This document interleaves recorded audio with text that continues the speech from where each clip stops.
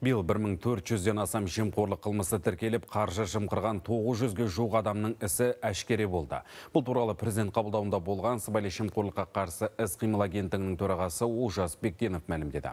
Агенттік сыбайлас жемқорлыққа қарсы қызмет бөлімшелерінің жұмысын бағалау тәсілдерін қайта қараған. Нәтижесінде статистикалық көрсеткіштер үшін ғана жасалатын әрекеттер жойылды. Қасым Жомарт Тоқаев агенттік басқашы басшысына жемқорлықпен күрес қызметінің жұмысын күшейту жөнінде бірқатар тапсырма берді